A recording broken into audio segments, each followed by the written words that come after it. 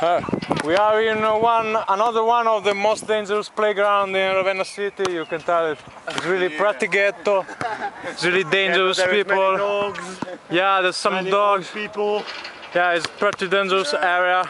Many vagabond. And uh, yeah, we're playing an international tournament uh, against some uh, Polish professional player. I mean, professional drink, beer drinkers, Beer drinkers player. professional beer drinkers, and From uh, our sponsor is uh, Moretti Birra. yeah, yeah, they, they came here because to talk with uh, their sponsor. I don't know. That's the best playground. We have to talk about uh, another season with our Yeah. sponsor.